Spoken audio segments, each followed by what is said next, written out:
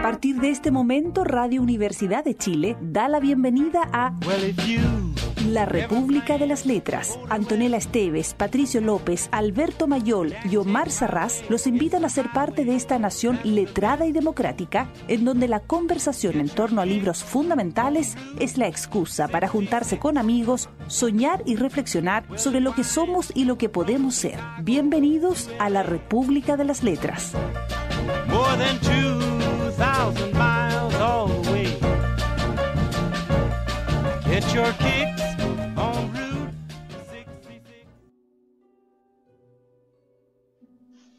Hay pocas cosas que la gente valore más que sus ojos, dije, levantando la voz y viendo que tres alumnas asentían.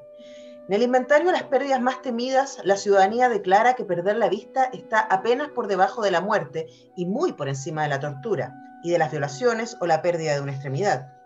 Y aunque está mal visto jerarquizar en la violencia, cuesta elegir que salvar, la gente elige el ojo. Porque en estos tiempos que celebran la omnipotencia de la vista, que certifican la realidad en el orden de lo visual, que privilegian relaciones mediadas por la imagen, que priorizan las funciones organizadoras de la mirada, cegar un ojo o dos es mucho más que matarlo, es acrecentar la inequidad física, es imposibilitar la participación en sociedad, es asesinar en vida la posibilidad de una vida mejor. Esas son algunas de las reflexiones que están en Zona Ciega, la más reciente publicación de la gran escritora Lina Meruane, que por segunda vez está acá en esta República de las Letras. Patricio López, ¿cómo estás? Muy bien, muy feliz de tener en mis manos un libro de Lina Meruane, un libro de Clepsidra, y un libro en el que seguimos luchando contra el canon. Eso. Omar Serraz, ¿cómo estás tú? Bien, buenas noches, aquí estamos. Feliz de estar con ustedes y de poder conversar de, este libro. Oye, antes cuando de nosotros decimos que estamos felices de estar acá, felices de estar acá, no es como en los otros programas cuando dicen que están felices y no es cierto. no, ahora nosotros estamos medianamente felices porque extrañamos estar todos juntos en el estudio. Eso mismo. verdad. Y en, y, en, y en, el lugar donde íbamos después del estudio. Aún, aún más importante a veces. Claro. Eh, oye, antes de, pasar a lo siguiente, creo, creo que es necesario detenerse un segundo porque para agradecer a toda la gente que escribe durante el programa, eh, para todos los comentarios que nos dejan en YouTube, en Facebook, en Twitter, la gente que nos escucha de Finlandia, de España, de Costa Rica, de Argentina, de verdad. Yo leo todos los comentarios, no, no contesto, pero siempre los leo. Eh, muchas gracias por esta. Hubo gente que se nos enojó la semana pasada con nuestra, Ah. con nuestra mirada. Ah, por favor.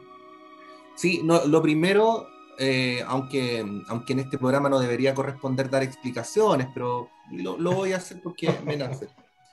No, no fue nuestra intención reírnos de Gabriela y de hecho creo que no lo hicimos. Entonces, eh, es probable que o no lo hayamos hecho bien o se haya entendido mal, pero hay un, hay un código que probablemente no lo supimos explicar muy bien, al menos a esas personas que lo plantearon, que es que eh, en el momento en que hacíamos sorna con Gabriela, era una manera nerviosa de, de reírnos de nosotros.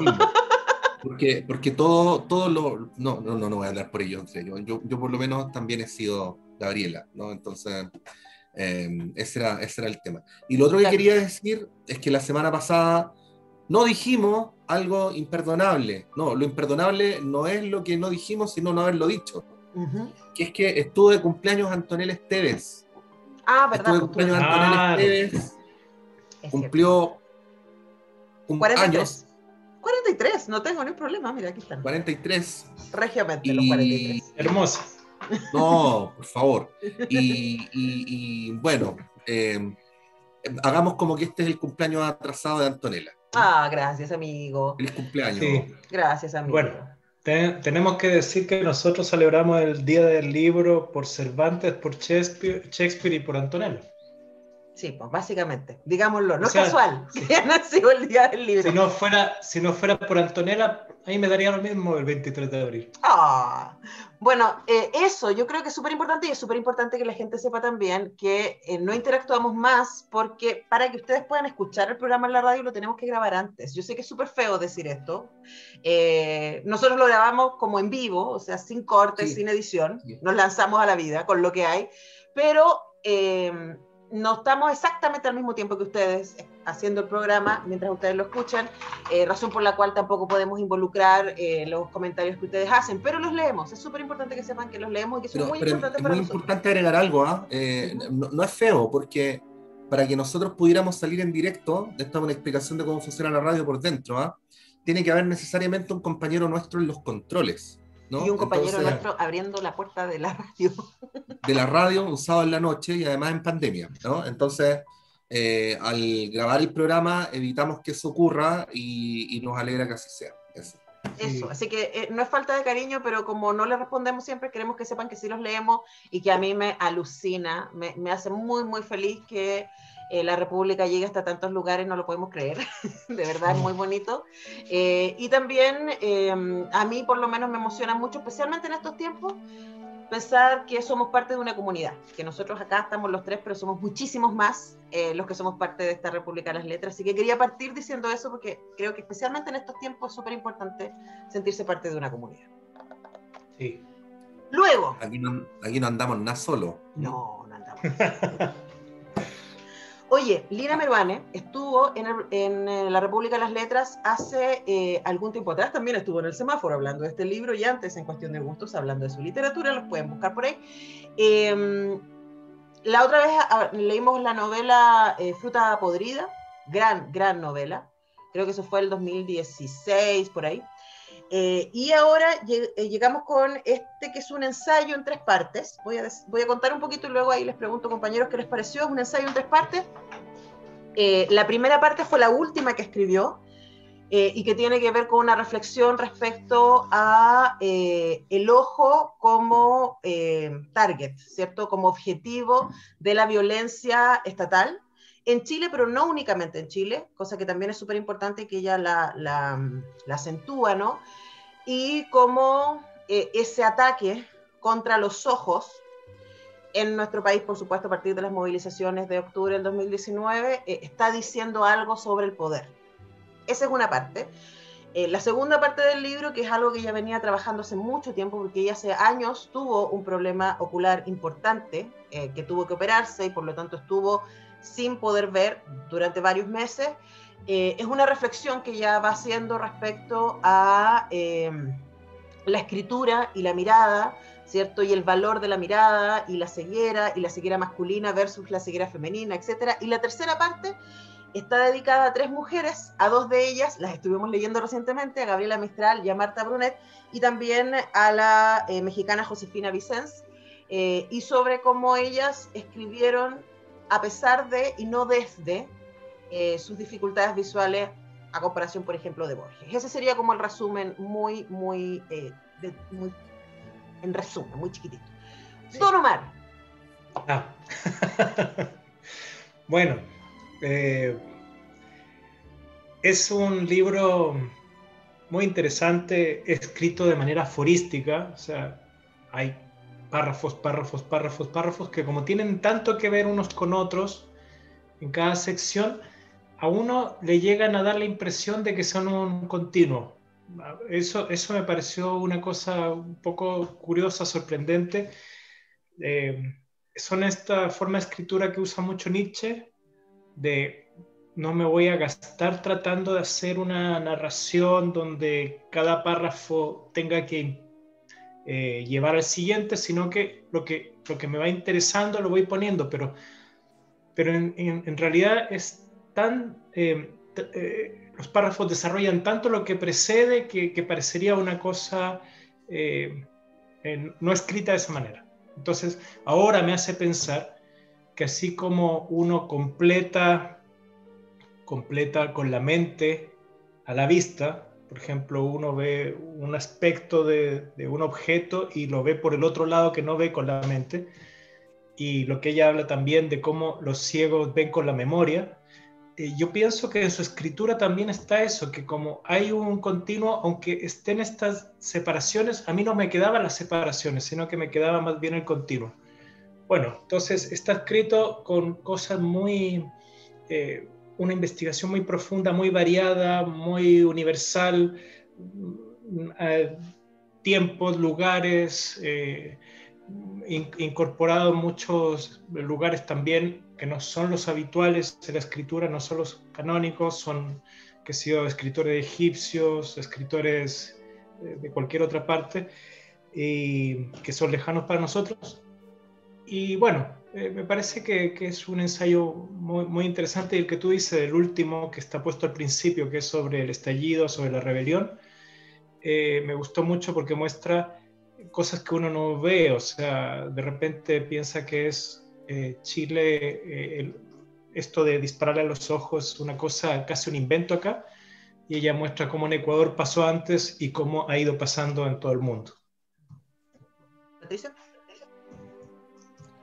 Yo, ah, bueno, cuando, em, me, suele pasar seguido, parece que es un, un rasgo de la vejez que, que uno se acuerda lo que le pareció algo y luego no se acuerda de nada. Eh, me acuerdo, por ejemplo, en la que durante muchos años tuve esa sensación de la película El cocinero, el ladrón, su mujer y su amante, que yo decía que era súper buena y me preguntaban de qué se trataba y no tenía idea porque ya no me acordaba. Eh, hasta que la fui a ver de nuevo y, afortunadamente no me decepcioné como con Golondrina de invierno. Eh, y claro, me pasa eso con, la, con el libro anterior de Lina Meruane, que yo me acuerdo que alucinábamos, que lo conversamos y todo, pero no me acuerdo nada de ese libro, nada, absolutamente nada. Entonces, venía bien predispuesto a leer este. Eh, y, bueno, yo pensé que era una reflexión en, en, el aire, no lo digo despectivamente, sino como la hubiera hecho cualquiera de nosotros respecto a lo que, a lo que nos ha provocado en términos de conmoción personal y colectiva esta, esta forma de represión. Eh, pero el libro es mucho más profundo y es mucho más complejo y es mucho más profundo y mucho más complejo por la razón que suele eh, propiciarlo, ¿no? Que es que em, el, el, lugar desde donde ella escribe es un lugar donde se comparte el padecimiento, ¿no? Porque aquí viene el dato relevante de que, de que ella ha tenido problemas muy significativos a la vista y por lo tanto eh, no viene pensando en la ceguera a partir del 18 de octubre del 2019, sino hace 20 años o más por lo menos. Eh, y esa erudición se nota aquí porque, porque este podría haber sido un libro urgente, pero hubiera sido imposible acumular la cantidad de referencias bibliográficas, culturales, mitológicas, respecto a la vista y a perder la vista que aparecen en este libro. Entonces, eso es lo primero. Creo que es un libro especialmente valioso eh, porque se da la, la, maravillosa coincidencia de que una obsesión previa coincide con una obsesión colectiva, ¿no? Mm. Y, y una obsesión personal previa, quiero decir, coincide con una obsesión colectiva y eso se permite fraguar en el, en el libro. Em, uno sabe, en términos así retóricos, lo que, lo que debe ser quedarse sin vista, em, pero no, no, logra apreciar esta dimensión tan profunda que le da ella. Por ejemplo, estas referencias a que, a que la vista es la conexión del interior con el exterior, eh, o, o, o, que es la parte más importante del cuerpo. Y bueno, y, va justificando todo eso con reflexiones que van a medio camino, vuelvo a insistir en como entre la erudición, lo personal, la referencia político contingente, eh, y va instalando una, una reflexión sobre la, sobre la mirada que se inserta en la, en la línea de otros libros que hemos leído y que probablemente ya son más clásicos que este a estas alturas, como Informes sobre ciegos, Ensayos sobre la ceguera. Eh, eh, que también aparecen por aquí. Que también aparecen citados acá absolutamente. Bueno, o sea, entre otras cosas, es una, es una gran enciclopedia sobre la, sobre la historia literaria de la ceguera. ¿no? Absolutamente, eh, absolutamente. Y por eso hay muchos lugares para entrarle, pero estamos recién partiendo. Don Omar, ¿qué vamos a escuchar? Bueno, eh, el tema es una pregunta. ¿Qué ves cuando me ves? ¿No? Con divididos. Vamos a escuchar eso. ¿Qué ves, qué ves cuando me ves?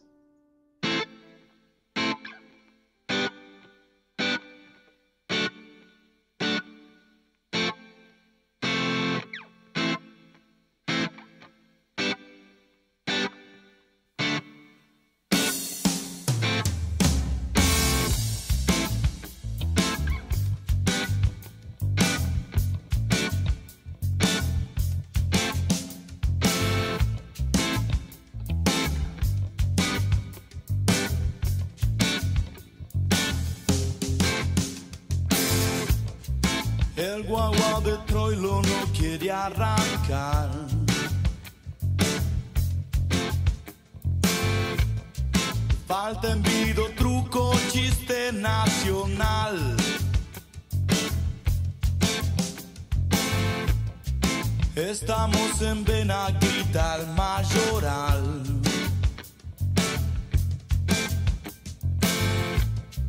Y pagas el vale un día después. ¿Qué ves? ¿Qué ves cuando me ves? Cuando la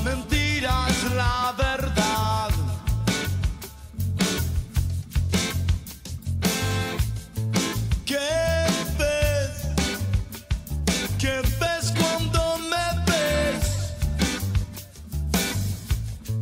Cuando la mentira es la verdad.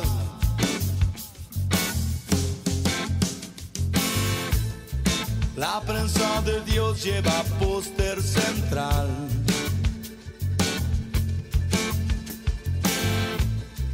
El bien y el mal definen por penal. La chapita porrón en Palomar. Cruzando la vía para poderla pasar. ¿Qué ves? ¿Qué ves cuando me ves? Cuando la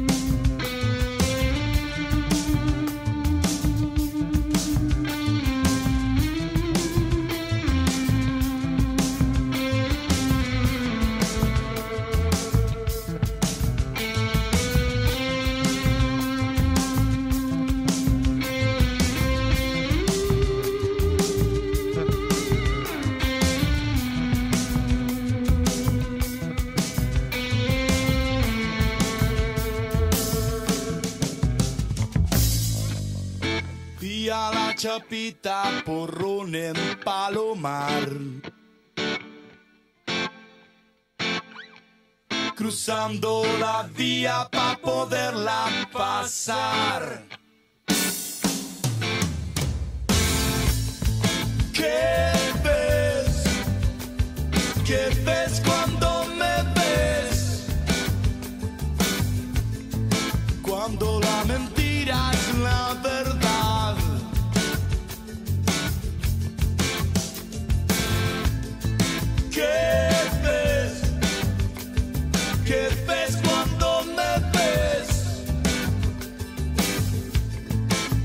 Cuando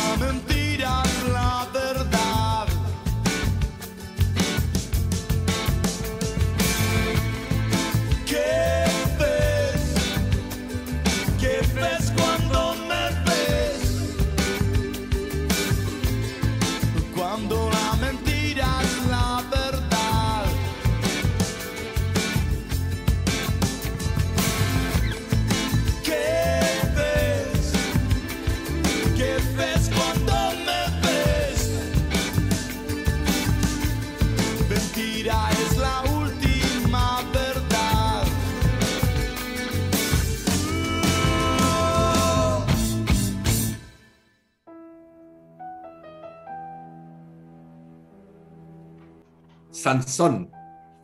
Su nombre venía del sol y radiante era la fuerza divina que su cuerpo encarnaba en la batalla. Sansón le confió el secreto de su fuerza a Dalila y no solo perdió el poder de su pelo, sino sobre todo el de los ojos. Zona ciega, Lina Meruane, en esta plácida noche de día sábado 1 de mayo, así es que aprovechamos de saludar a la siempre querida, nunca abandonada clase obrera del mundo. Trabajadores del mundo y trabajadoras unidos y luchar ahora más que nunca. Salud. Especialmente en un contexto como este. A luchar. Salud. Eh, a propósito de que eh, en el primer ensayo, Lina Mervane habla muchísimo sobre la construcción del discurso. Se lanza una frase hermosa. Eh, a propósito del poder, ¿no? Volver invisible la verdad, tergiversar la realidad, hacerla espejismo.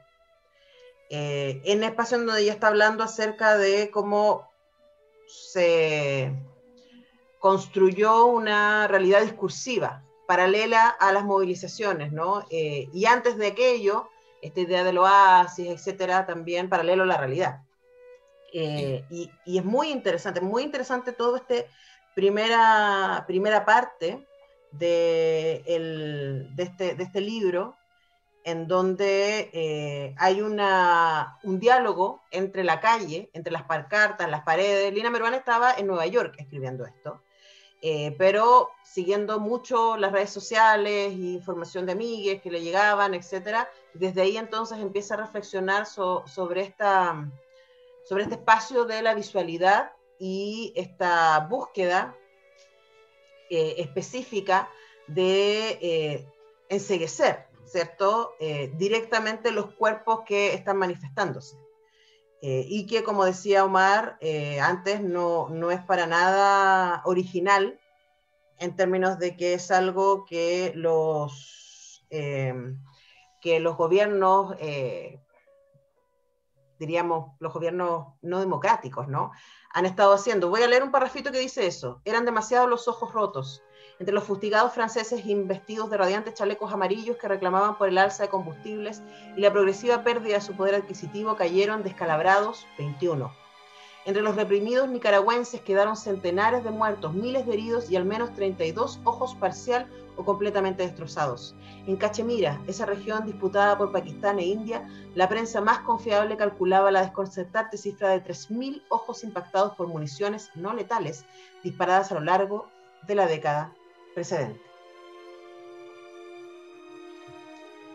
Sí, bueno, eh, es lo que, lo, que me parece interesante es, eh, claro, es una estrategia al final, no es una cosa casual. En alguna parte dice uno es eh, mala suerte, dos es coincidencia y tres ya es un plan, una cosa que está hecha.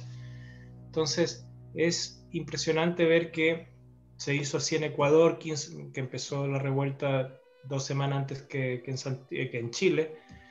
Eh, se, hace también en Palestina, se hace en Egipto, se hace en, todas partes esto de no matar, sino mutilar, como que fuera casi una gracia ¿no? del poder, dejarte vivo, pero, o sea, casi como que hay que agradecer el, menos problemático. Entonces, en alguna parte también Meruana se pregunta, eh, en las guerras uno, uno ¿qué es más conveniente? ¿Matar? ¿Dejar herido? Eh, ¿Dejar que los heridos dan más problemas a sus compañeros? Entonces, eh, vemos que, que, esa es una cosa mm, que está, que está, que está impuesta ya. No, no es una originalidad de Chile, aunque Chile está más o menos peleando por el récord mundial. Claro, en términos de tiempos heridos, es, impresionante. Sí. Ahora, eh, la pregunta que uno se hace es si, es si fuerzas especiales o el alto mando de carabineros son tan cultos o tan profundos y existencialistas como para repetir un patrón histórico, ¿no? o más bien lo que está funcionando es el instinto. Eh, mm. ¿Tendrá el, general Rosas en retiro eh, en su biblioteca todos estos libros y habrá reflexionado sobre la dimensión trascendente, filosófica eh, de la visión? ¿O tendrá conocimiento de cómo funcionaba la antigua mitología o la relación entre los seres humanos y las divinidades para decidir sobre la base de esa formación intelectual superlativa dispararle a la gente a los ojos o, o lo que hay en común es una brutalidad de la especie humana eh, y cada sociedad tiene su bruto que reproduce el patrón, ¿no? Y, y, viene otra gente más iluminada como Lina Meruane y lo, y lo devela, ¿no? Eh, obviamente la primera parte de mi suposición es una ironía, ¿no? Eh, no tengo ninguna expectativa intelectual del general en retiro Rosas, por lo tanto es obvio que pienso lo segundo. Mm. Claro. Aunque uno podría pensar, ¿cierto?, que hay en ese ataque al, al, rostro y particularmente a los ojos, la idea de un castigo y un amedrentamiento por aquellas personas que han mostrado aquello que no se debía ver.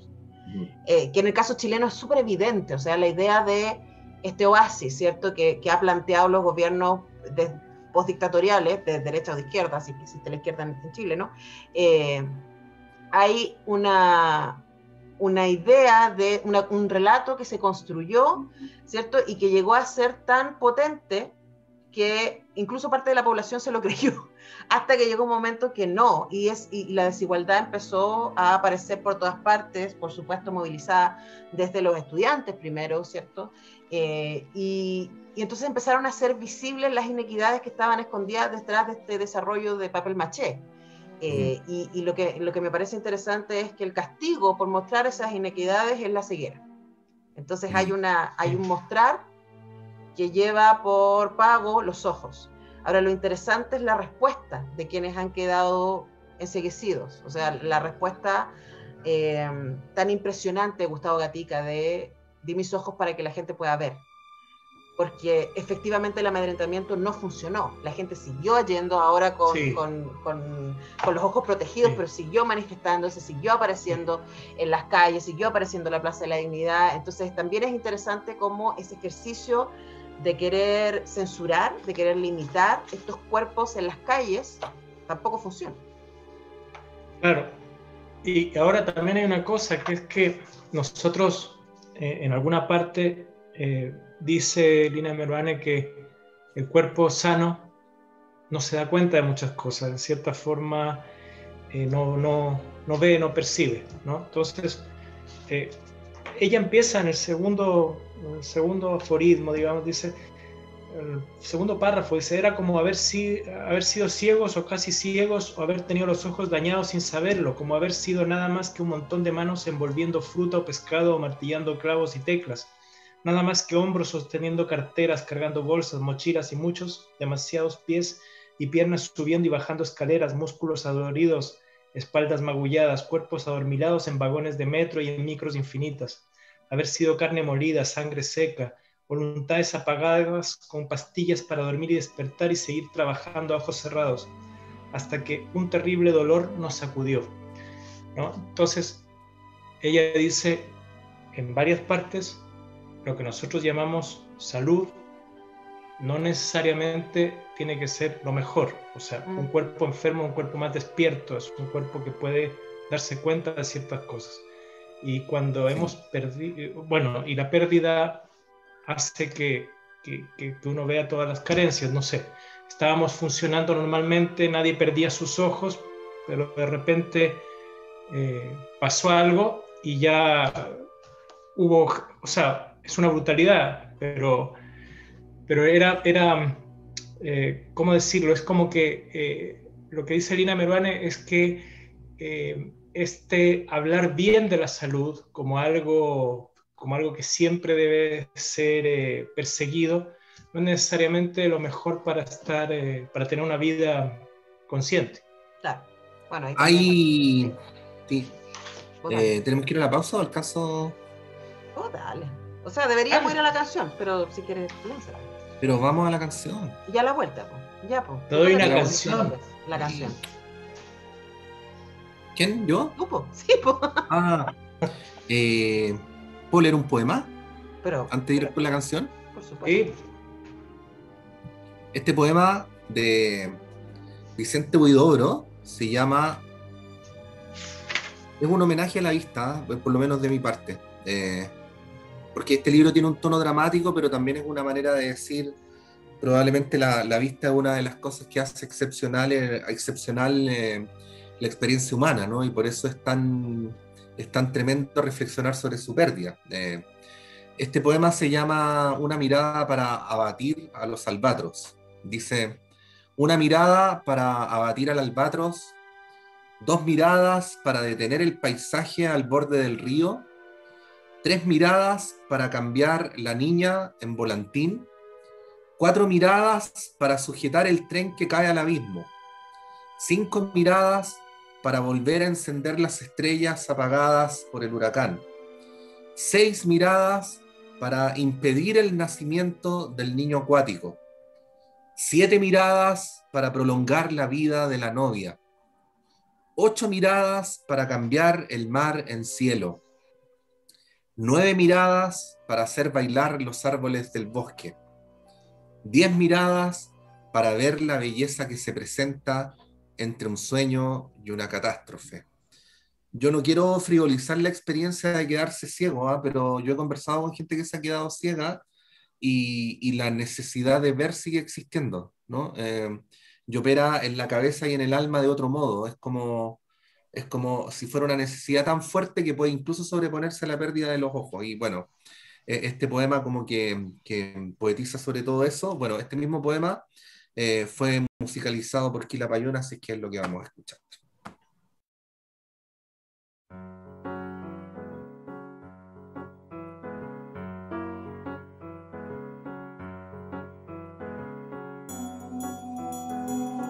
Una mirada batir al albatros, para batir al albatros, una mirada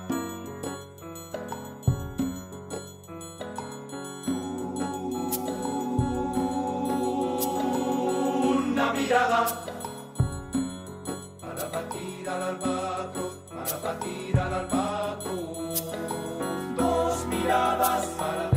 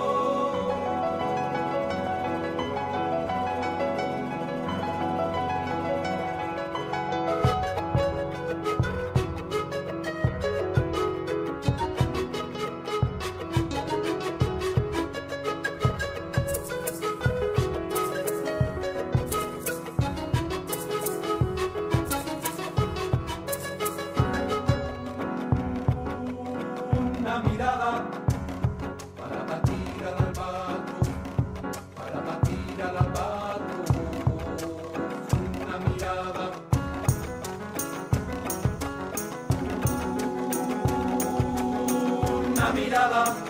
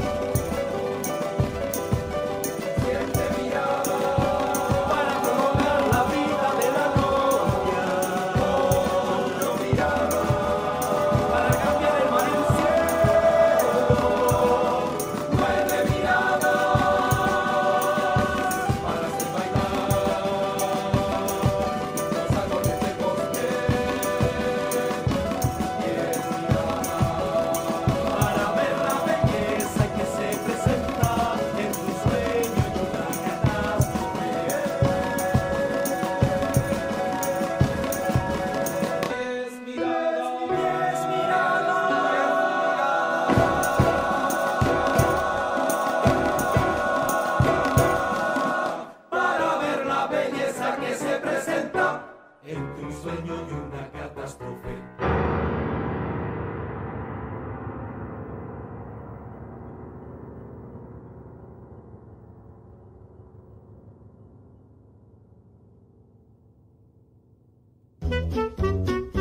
Librería Clepsidra en Ñuñoa, Avenida José Pedro Alessandri Colira Razabal, a pasos de la estación Chile-España, línea 3 del metro. Librería Clepsidra, libros de ciencias sociales, literatura, filosofía, poesía, lecturas escolares, de arte y teatro. Avenida José Pedro Alessandri 94, teléfono 2222-55706. Ventas de nuestros títulos y autores en www.clepsidra.cl con despacho a domicilio.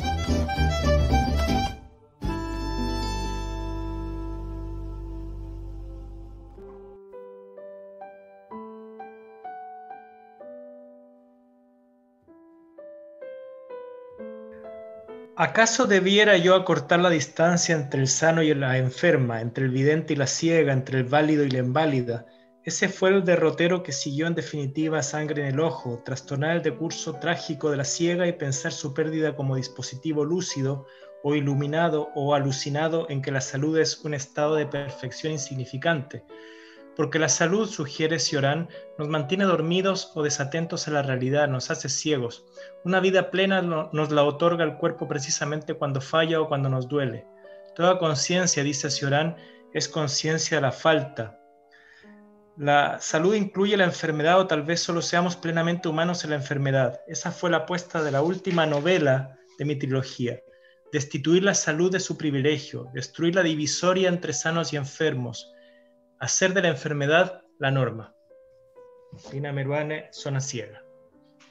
Sí, lo que estamos leyendo hoy día, este estupendo libro que se lanzó la semana pasada. O sea, está recién, recién, nuevecito. Ah, recién, recién. Recién, recién. Hoy estamos como, como cargados a los estrenos, porque la vez pasada leímos a Gabriela que, Sí. que había aparecido en marzo, ahora Lina Meruane. Sí. Bueno, yo está. quiero recomendar la Radio Universidad de Chile, ¿ah? donde hay periodistas tan maravillosos como Antonella Esteves, que entrevistó a, a Lina Meruane ahora, recién. Sí, el, día de- Eh, el día del lanzamiento, el martes pasado. No, eh, no de la semana, el anterior. Exactamente, y, y pueden leer la versión escrita de esa entrevista en el diario electrónico. Lo recomiendo desinteresadamente, no es que tenga velas Claro. en el entierro, pero lo, lo recomiendo. Sí. Bueno, y Sí. también entrevisté a la investigadora, la Daniela Schuster, Schuster, Schuster, que fue la investigadora del libro de, de Gabriela Mistral, y a Cynthia Rimsky sobre eh, su selección de los cuentos de Brunet, y a Cecilia Vicuña, que es nuestra, nuestra invitada la Sí. próxima semana.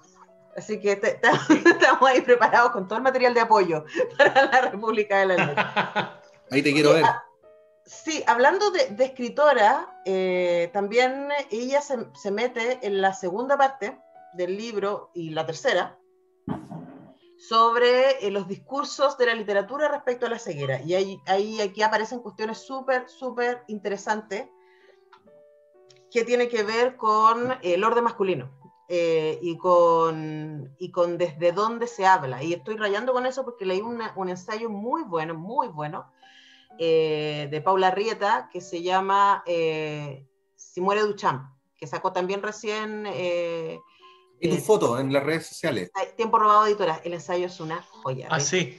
Deberíamos leerlo, de verdad está muy bueno. Y, y- y habla de esto mismo que, que pone Lina Meruane acá, ¿no? Orden masculino se llama esta parte que está en el segundo, en el segundo ensayo. Uno era vidente sin vista, el otro un ciego visionario, dos figuras opuestas pero compatibles en la configuración de un régimen ocular que se mueve entre los extremos de la visión y de su ausencia. Dos hombres, dos formas de poder, dos relaciones con la vista. ¿Y las ciegas? La tradición solo parecía haberse ocupado del vínculo que establecieron los hombres con sus ojos. Los clásicos y los que siguieron entendían la visión como propia del orden masculino. Todo Dios ha sido hombre, todo Dios ha sido representado por un ojo, un sol radiante, o ha ordenado, rodeado de tinieblas, que se haga la luz. La pérdida del ojo todopoderoso solo podía afectar a los hombres. No era raro que Jacques Derrida discurriera que solo había venerables viejos de ojos muertos, porque si la visualidad era manifestación del poder masculino, si el poder era saber, si del poder y del saber se había excluido históricamente a las mujeres, esa pérdida del ver que era saber y era poder solo podía ser un drama propio de los hombres. Una mujer no podía perder lo que nunca tuvo. Muy bien. Tremendo, tremendo. Tremendo. Sí, Tremendo. sí. Porque además a lo, lar- a lo largo de este ensayo y del siguiente está el, el estudio de caso, básicamente de eso, ¿no? Entonces habla de Borges y de Borges, quien en un eh, ensayo, ¿cierto? En una locución, básicamente, él habla acerca de eh, asumir la ceguera como, como un ejercicio de valentía, ¿cierto? Como, como que finalmente la ceguera lo pone en lugar, y es algo además de lo que él habló constantemente en su literatura, ¿no? Eh, y luego ella estudia los casos de Marta Brunet y de Gabriela Mistral y de Josefina Vicens y cómo ellas obviaron eso, y que de hecho no hay en su literatura, excepto en el poema de Chile de Gabriela Mistral, eh, pero por ejemplo en el caso de Brunet, excepto en un cuento por ahí perdido, no hay una, un protagonismo de la ceguera, ni hay una reivindicación de ellas mismas como escritoras ciegas, porque, señala Lina Meruane acá, eh, en el caso de las mujeres, eso sería una voz lastimera, no la voz épica, que puede tener en el caso de los hombres. Eso me pareció súper interesante, no sé qué les pareció a ustedes, compañeros. Totalmente, me pareció increíble además, porque a propósito de, como le dijo una vez una chica a un, conferencista en Buenos Aires que ahí, dijo, deconstruite, machito. dijo,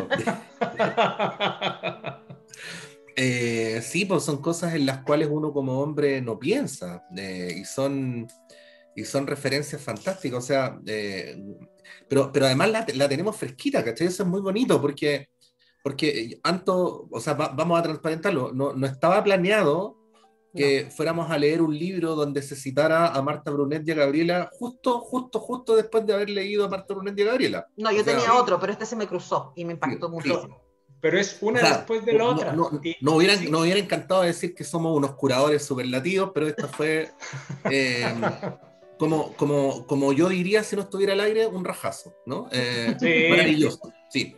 Eh, entonces lo tenemos fresquito y, claro, pues, o sea, Marta Brunet se quedó ciega. Em, ¿Se acuerdan de la foto del libro que sale con unos lentes fotos de botella increíble? Eh, sin ningún alarde, sin ningún alarde. Es como, bueno, me pasó bien. eso, ¿sí? Y, y bueno, y tiene, y tiene que ver con estos monstruos de la literatura, pero también tiene que ver con los roles, ¿no? O sea, cuando, cuando, cuando al hombre le toca sufrir, le pone color, ¿cachai? como heroico. ¿ah? Colocado en un tránsito histórico, pagaré con mi vista, tendría, habría dicho Borges, ¿no? Eh, y Marta Bruneta, así, pum, Gabriela, pum. Eh, eh, es increíble eso, porque es, es ya no un problema literario, un problema de roles de género, ¿cachai? Pero va, va más, más allá todavía, porque Josefina Vicens dice ella que se, se pregunta si ella debería hacer eh, tema de su literatura su ceguera. Y luego dice, no, esto sería muy lastimero y lo desecha. No, eh, eh, o sea, es una cosa que ellas primero que nadie se dan cuenta de que, de que hay esa, esa, diferencia. O sea, no, ella no piensa en que lo va a poner a la altura de Homero, como, como piensa Borges. No, entonces lo desecha. Eh, bueno, en toda esta, esta larga guerra hay un libro que se llama La guerra más larga de la historia, que es sobre justamente el machismo, cómo las mujeres han sido víctimas toda la historia, sí. Ahora, ¿saben qué me pasa a mí? Que yo creo que tiene que ver, a lo mejor estoy rayada porque estoy guiando una tesis sobre eso, ¿no? Tiene que ver con la construcción de la otredad, porque no es solamente ese particularmente contra las mujeres, pero no solamente contra las mujeres, es con cualquiera que esté fuera del poder hegemónico. Entonces, eh, también los indígenas, también los pobres, también en, hoy en este mundo los migrantes, los bárbaros, o sea, todos los que están fuera del límite eh, no pueden vivir heroicamente y trascendentalmente sus experiencias, eh, porque no son experiencias válidas, porque además quien cuenta esas experiencias, ¿no? Creo que eso, eso es muy interesante. Oye, vamos a ir con una de las canciones más lindas del mundo mundial. ¿Cuál?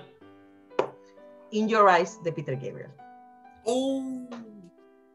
Yeah.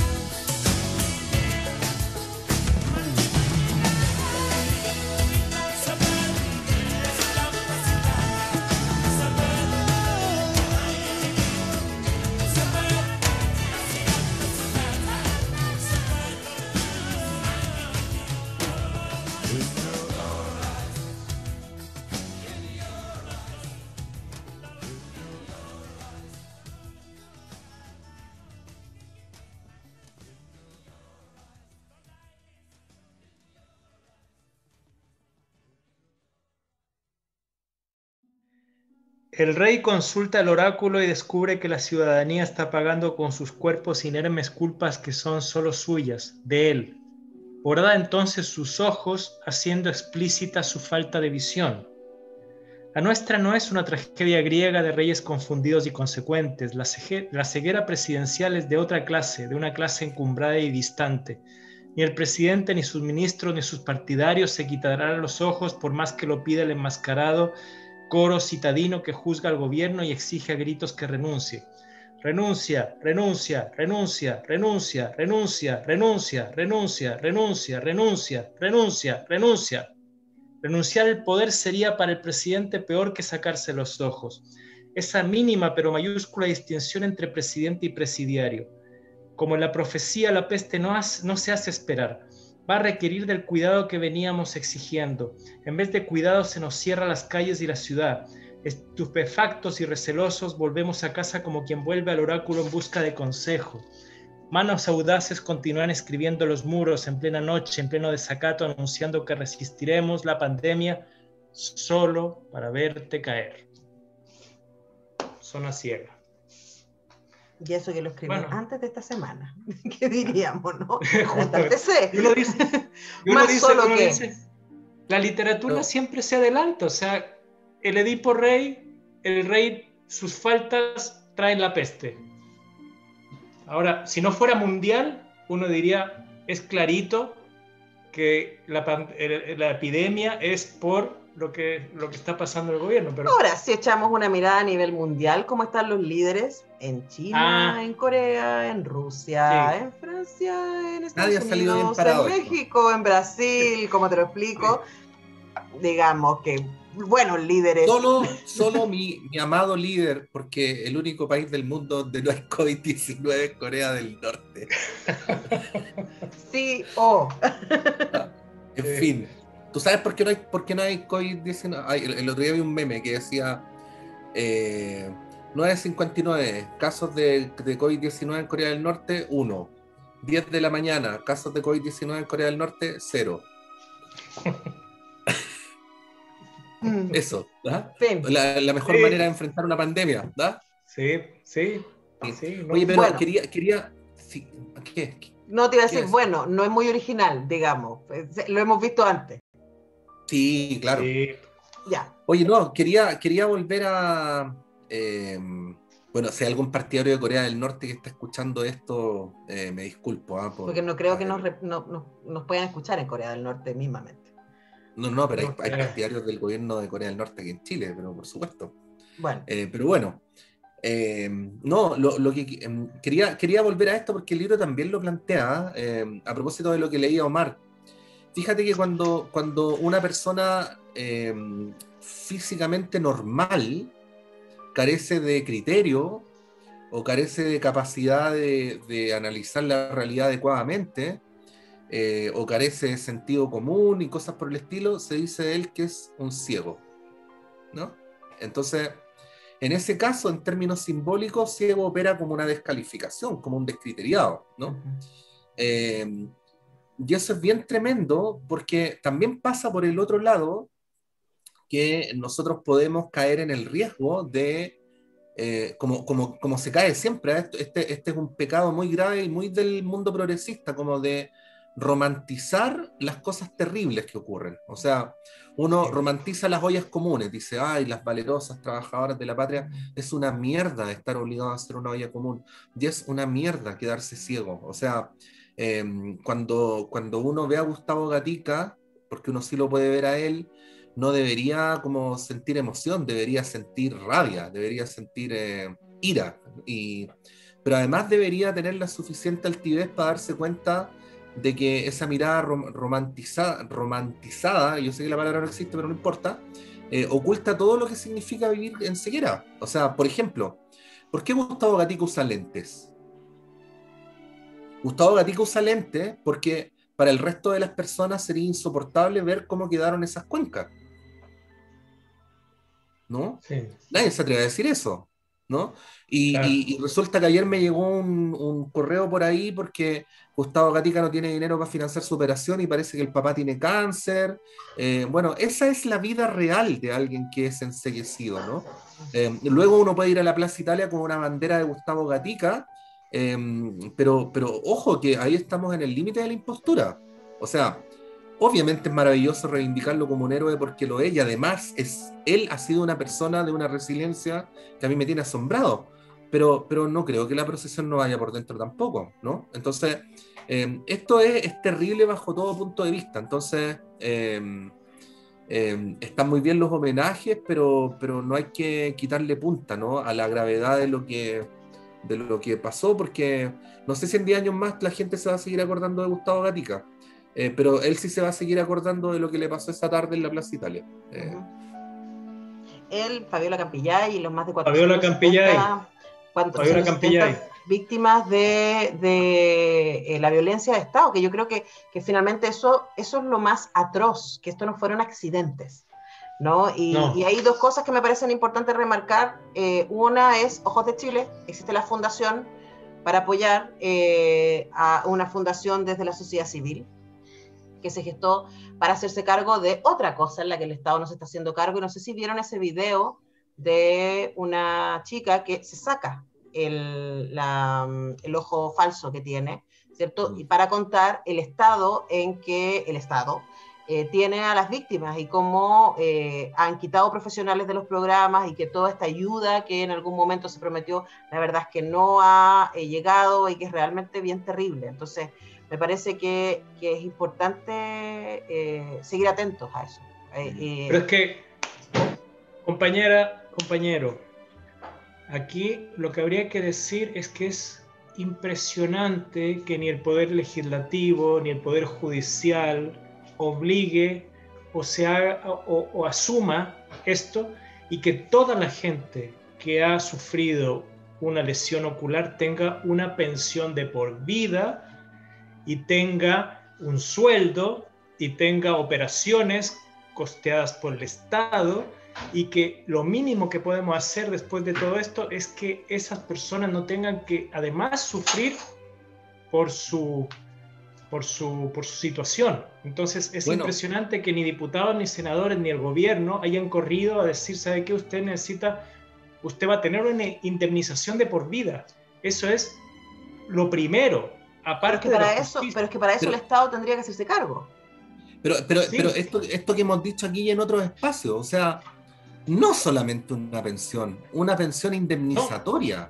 la base, la base, de ahí la justicia. O sea, o sea, a una persona que se queda ciega no basta con que le des para que llegue a fin de mes. No. Tienes que pedirle perdón por haber hecho lo que hiciste. Y el Consejo de Defensa del Estado en Chile apeló a los montos indemnizatorios que, eh, están, que están planteando eh, las víctimas de, de trauma ocular. Apeló. No puede ser. No puede o sea, el mismo Estado que los deja ciegos después apela y dice, no, es mucha plata. Tal, tal cual. Eh, y además el mismo Estado que los deja ciegos, por un lado, eh, sigue restándose de hacerse cargo de estos crímenes y de las consecuencias de estos crímenes y sigue cometiendo los crímenes. O sea, es como que, que ya no estén en las noticias, que ya no estén los noticiarios, las movilizaciones y la violencia de parte del Estado de Chile a través de las Fuerzas Armadas y Carabineros, no quiere decir que no siga sucediendo. O sea, esto sigue sucediendo en las poblaciones, sigue sucediendo en las calles. ¿Qué decir lo que pasa en Agualmapo?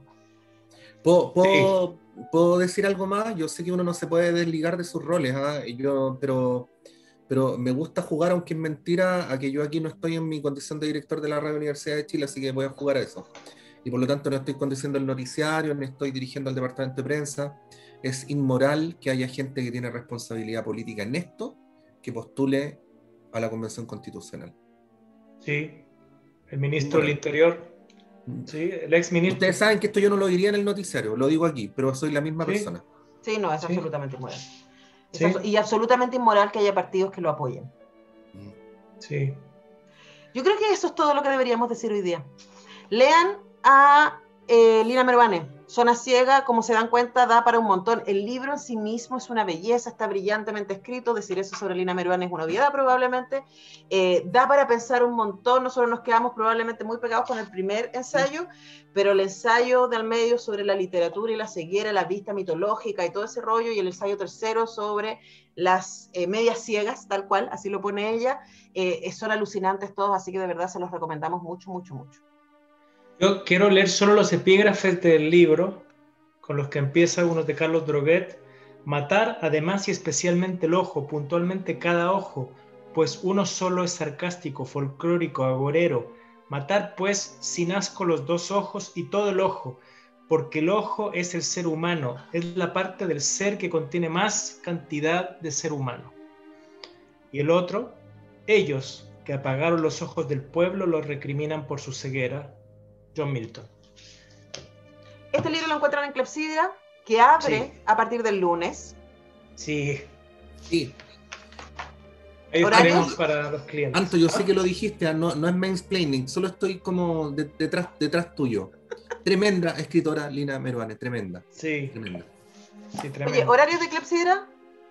¿De 10 a 5? De 10 de la mañana a 7 de la tarde, 7 de la tarde. del lunes y siempre en clepsidra.cl y los pueden seguir en Facebook y en Instagram y además felicitaciones ahí a la, a la, eh, a la encargada de contenidos del Instagram porque de verdad es muy lindo lo que pone. Cata Devia, sí.